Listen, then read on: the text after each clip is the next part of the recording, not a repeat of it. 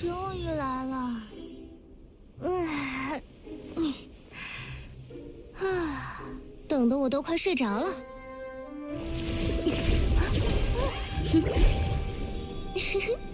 我的占星术果然不会出错。喂，你跟我走吧。嗯，你是上门推销的占卜师？不好意思，我们可不需要。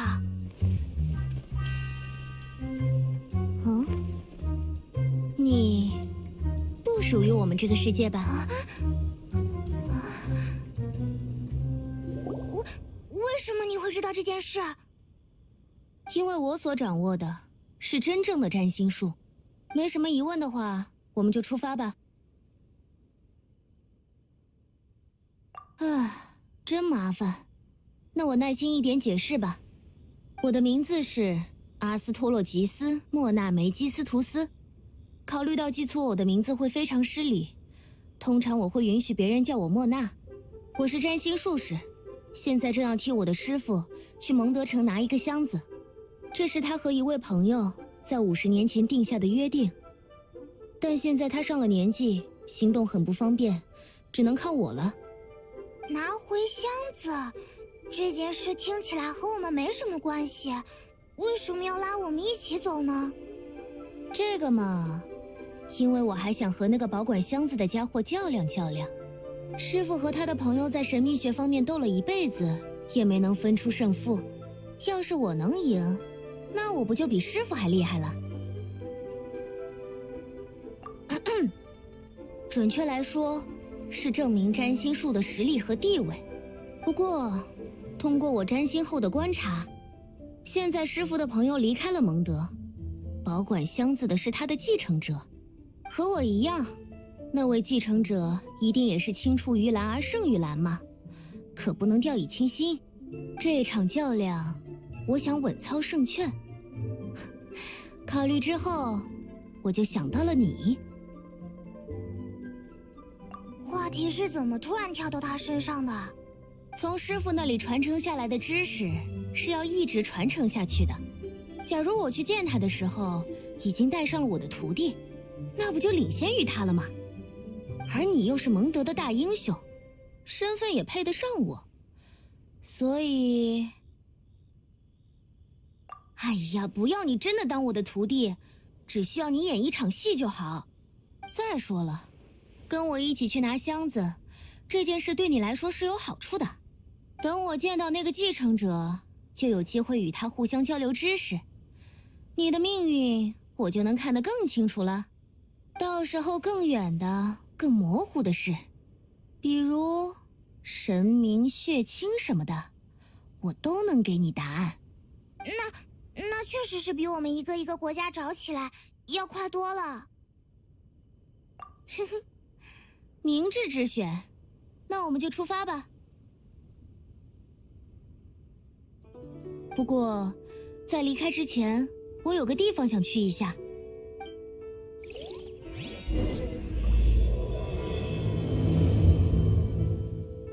客栈开在这种地方，生意当然不会好了。哎，莫娜，你来的正好。你来的路上看见了一个玉石戒指吗？玉石戒指，好像没什么印象。哎，这可麻烦了。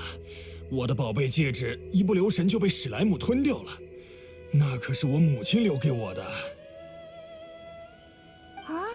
啊，这种事有莫娜在就不愁了吧？她的占星术那么厉害。那可不行，占星术。是用来洞察真实、观测命运的严肃知识，可不是用来打杂的。但你之前不是说老板很照顾你吗？这是尊严，也是心境的问题。占星术士如果认为占星术能解决一切，就会被星空放弃，占卜会失去指引的能力，再也看不透前方的迷雾。所以，原则就是原则。有这么厉害的能力，居然不用来赚钱，太可惜了。唉，本来说如果你们愿意，我可以出两万摩拉做酬谢的。两万？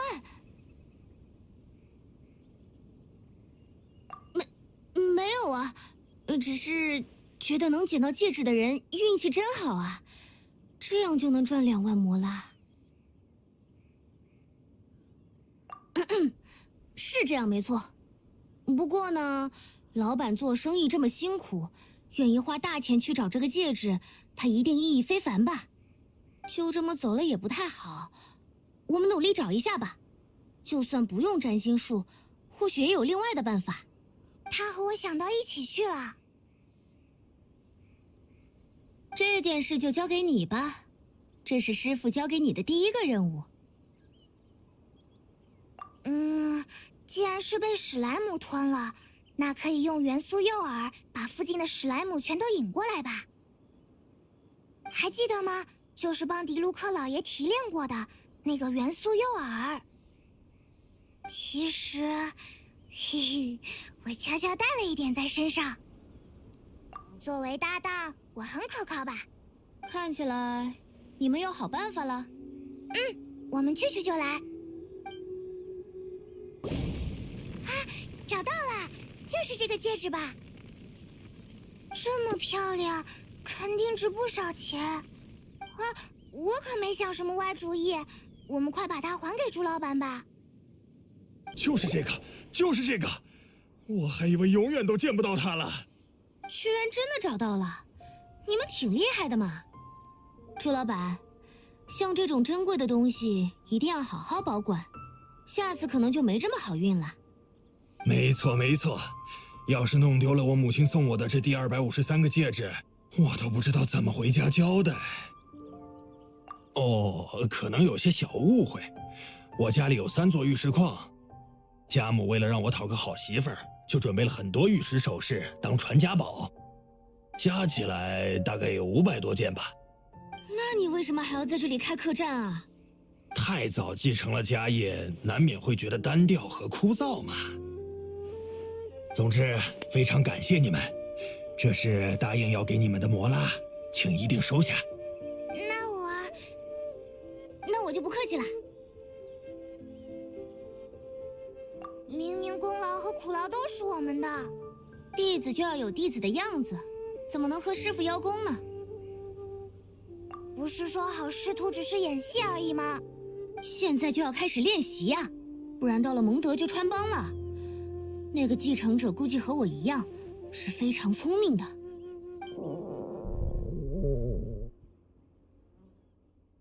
呃好像有什么特别响亮的声音。哦，对了，你应该有一两天都没吃饭了吧？呃，因为没……呃……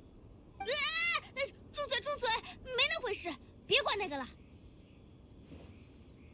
呃，我突然觉得，这件事弟子确实也有功劳，干脆用这笔钱请弟子吃顿好的吧。往北边走有家望舒客栈，听说那里的饭菜特别美味，我们就去那边尝尝。不用感谢我，这都是一个可靠的师傅应该做的。他说要请我们吃饭，我没听错吧？快追上去吧，有好吃的。既然是莫娜请客，我们想点什么都可以吧？当然，师傅是很大方的，不过前提是你们吃得完。浪费食物可不好。请问想点些什么呢？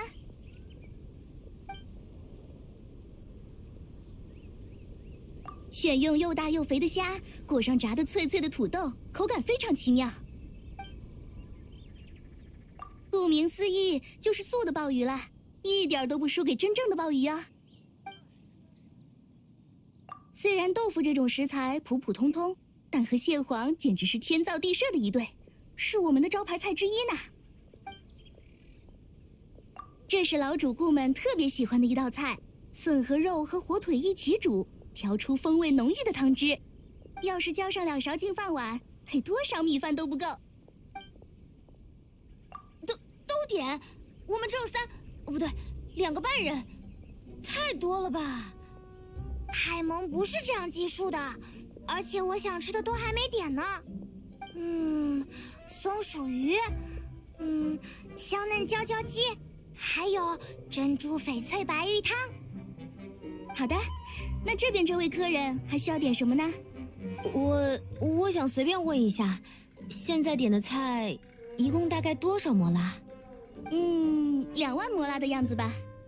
那不就，呃，我，呃，我只要一碗素面就好了。好的，一碗素面是吧？请你们稍坐片刻，马上为你们上菜。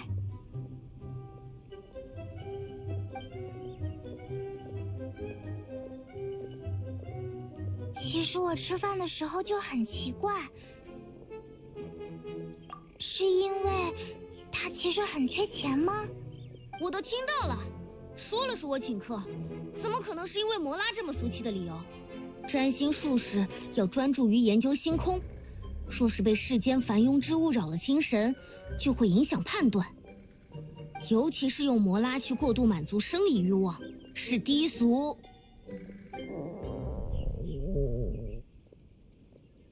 呃，有危险的。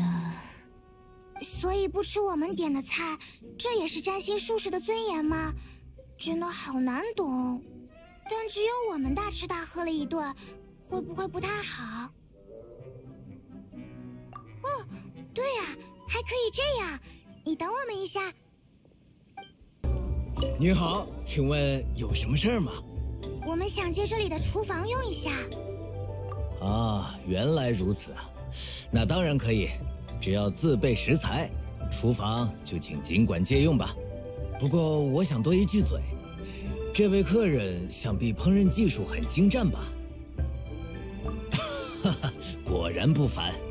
其实我有一个小建议，看您的衣服像是外国人，但既然来了璃月，要不要试试看做璃月的菜式呢？我这里。有一份黄金蟹的食谱，是非常经典的粤菜。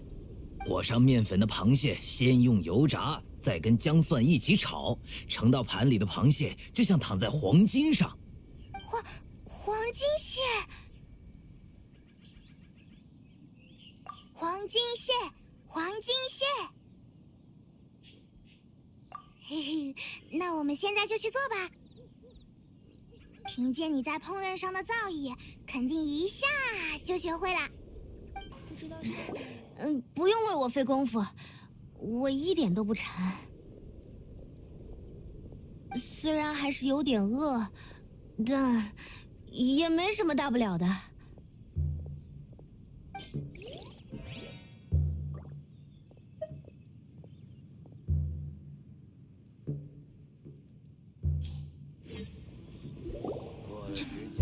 这个香味是，就就算你这么说，好吧，看在弟子这么辛苦也花了心思的份上，我就勉为其难的接受吧。嗯，好棒的味道，这是我最近吃过最好吃的菜了。啊，那个，我是说。没想到徒弟如此擅长烹饪，为师很是欣慰。唉，璃月佳肴的美味，不是说说而已呀。啊，这么一想，花了这么多摩拉也不是那么心痛了。啊，没什么没什么，吃饱喝足，我们该出发了。从这里继续往北，就能抵达石门，然后就进入蒙德境内了。究竟能学到多么深奥的知识呢？哼哼，真是期待！终于到蒙德了，哎呀，好累啊！想得到伟大而深奥的知识，果然不容易。我倒是没那么累，因为你是飘在天上的呀。唉，看来占星术士也没那么厉害。那是因为你对占星术有太多不切实际的幻想了吧？你们几位也是在这里歇脚吗？请问你是？啊，我们几兄弟都是商人，刚在璃月港做完生意，准备回蒙德。看你们好像挺累的样子，我们订的马车一会儿就来了，要不要一起走？那就一起走吧，路上多几个伴儿聊聊天儿。没这个需要，快闪开，快闪开！哎，这位小姐有什么不方便吗？别装模作样了，强盗先生。挑路上看起来好欺负的人下手，只要对方上了车，就会把车拉到荒郊野岭洗劫一通，对吧？你你在说什么？咱们好心来搭话，却被当驴肝肺，还血口喷人！不坐车就不坐，神经病！那要不要我现在说说你们身上有哪些东西是抢来的？不服气的话，我说完之后找人来对质一番，就什么都明白了。如果我输了，我愿意赔你两万摩拉；如果我赢了，那你们就得去璃月港吃牢饭。怎么样？要真是正经做生意的人，没什么不敢的吧？你，你，你真是把我惹毛了，小丫头！我不知道你是怎么知道的，但只要灭了你的口，就不会有人知道了。别在意，几个强盗而已。之前你们说占星术士没那么厉害，那正好给你们看看师傅威风的一面。怎么样？这下算是回应了你们的期待了吧？对占星术士来说，这可是基本功。在占星术的面前，谎言毫无意义，命运与真实都在星空中一览无余。虽然结果越具体就越花时间，但大概的趋势一眼就能明白了。可是，一路上好像也有不少失算的时候啊。那是因为提瓦特的星空只展示此事的命运与真实，只要是和你们有关的事情，就会变得模糊起来。就算是我也没法准确判断，所以我才要和那个继承者见面，结合他的知识。说不定就能洞悉你的命运了。哼，无论如何，对你来说都是有益无害的一次旅程。好了，我也休息够了，那我们就一口气走到蒙德城去吧。唉，要是有车坐就好了。你不是不累吗？马上就要见到那位继承者了，你准备好了吗？可别让你的师傅丢脸。也对。啊，不对，就算是假的弟子，也不能一问三不知吧？虽然师门有规定，不得传授外人，不过，如果是你，也未尝不可。我的占星术是水占术，顾名思义，是通过水中的倒影观看真正的星空。让我先给你示范一下，看仔细了。就目前的星象和走势来看，嗯。那位继承者是西风骑士，年轻有为，女性。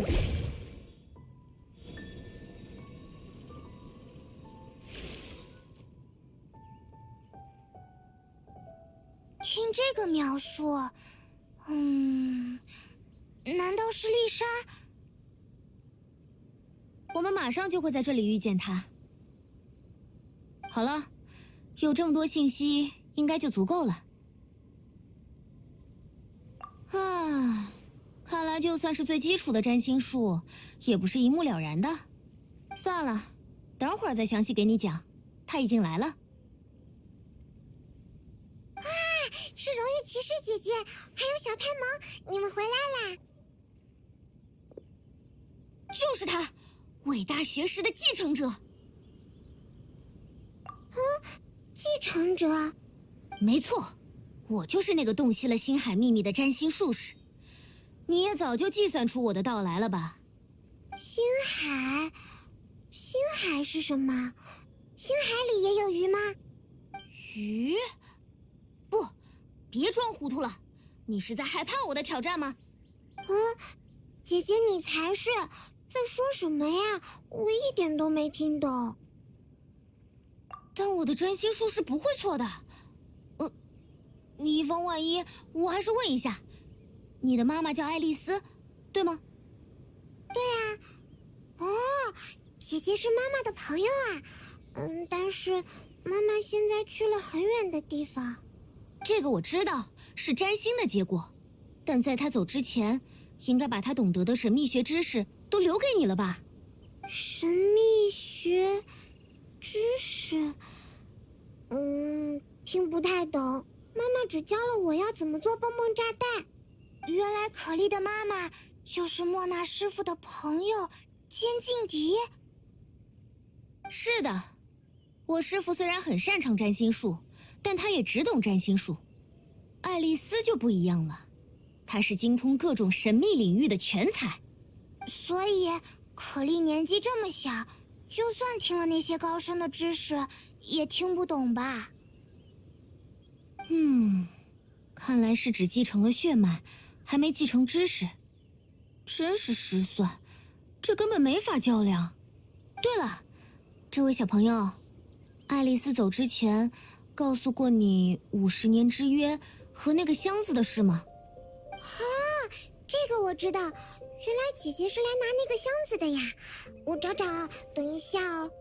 嗯，不是这个，也不是这个，嗯，不对不对，这个也不是。啊，我想起来了，我把它和我的新宝物都藏在风起地了。你们等我一下，我马上拿过来。别跑啊！你包里的东西都不要了吗？我帮他收拾这些东西，你们去追他吧。啊，看他这么冒冒失失的，我真担心箱子会出什么事。到了，到了，就是这里。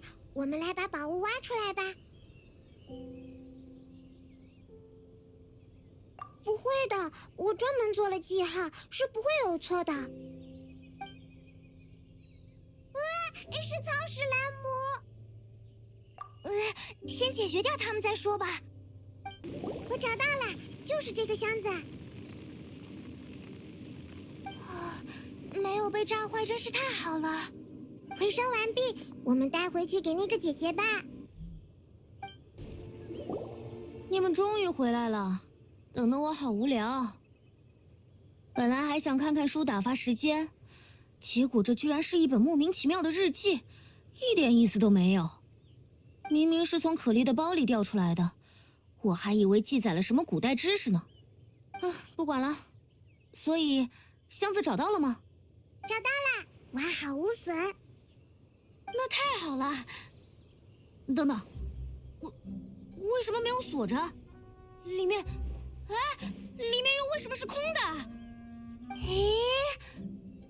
是这样的，因为我借用了这个箱子，用来装我收集的宝贝。借用？现在姐姐要收回这个箱子，所以我就把我的宝贝都拿了出来，箱子就是空的啦。你用来装你的东西了？那那原本里面装着的东西呢？我要的是那个。哦。姐姐原来是要以前装在箱子里面的东西啊！早说嘛！你该不会把它弄坏了吧？没有，一点都没弄坏哦。那件东西就是姐姐手里的那本书啊！哎，这、这、这原来这书这日记，是老太婆的？难道是她五十年前的日记？啊，时隔五十年要回收的，是她少女时代的黑历史吗？完了，难怪，难怪老太婆说，无论如何都不能看，看了就要把我大卸八块。啊，啊，我我我是不是闯祸了？啊，是姐姐说想要箱子的，没说里面东西的事情。我什么都不知道，我先走了。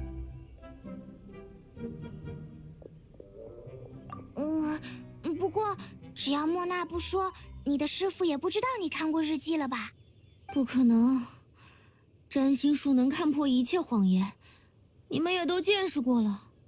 嗯，花光所有莫拉来了蒙德，没有得到知识，现在也回不去了。怎么会变成这样？啊，好可怜！要不然就等你把书里的内容都忘光了再回去吧。这个太难了，而且就算我想留在蒙德城，也是……呃，不是，你还真是不会说话。那也没办法，不然你就只能回去见你的师傅。别别说了，那那就先这样吧。我决定了，暂时住在蒙德城吧。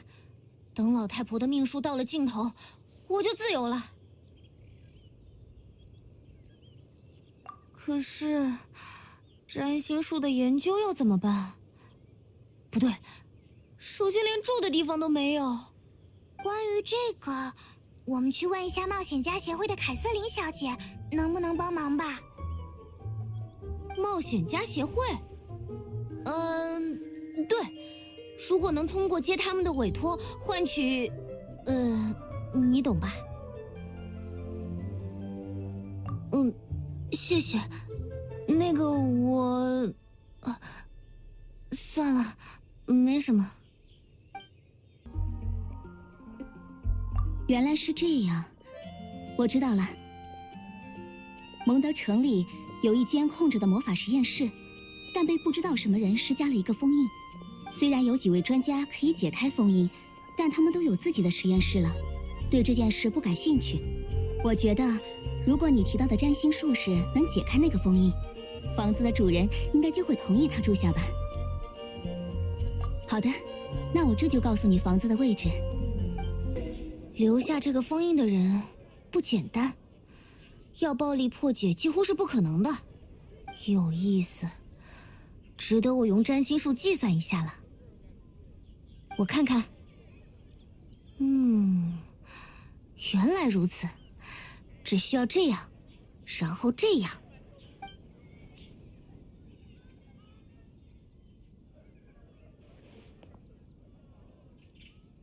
好了，打开了。哇，真厉害！只要回去和凯瑟琳报告一下，应该就可以住进去了吧？不必了，不必了，太谢谢你们了。这位是？哦，我是这栋房子的主人歌德。刚刚路过冒险家协会的时候，凯瑟琳告诉了我这件事。没想到这么快，这个凡人的封印就被解开了。那就是说，我可以住在这里了。当然，当然，反正里面的设备放着也是放着，能有人发挥他们的价值，我也很开心。为了表示感谢。我可以用最低最低的价格把房子租给你。租租？来之前没听说租的事，而且我还帮了忙。帮忙？呃，对，我明白啊，我非常感谢你，所以租金肯定会给你最优惠的价格。我我的意思是，看来莫娜有些误解，但是。嗯，也没有别的办法了，就租这里吧。好，那就这么说定了。我去准备一下手续，稍等片刻吧。这次的事谢谢了，还有就是，很对不起，答应你的事暂时还做不到，没有占星需要的设备，也没有新的知识，想要看清你的命运，还需要一些时间。但我答应你，等我准备好了。我一定会第一个为你占卜的。谢谢你，能和你同行是我的命运，而且算是好运的那一边吧。祝你们的冒险一路顺风。我也要想想以后的事了。如果他不用占星术赚钱，要怎么活下去呢？我们还是偶尔回来看看他吧，要是饿晕在房间里就不好了。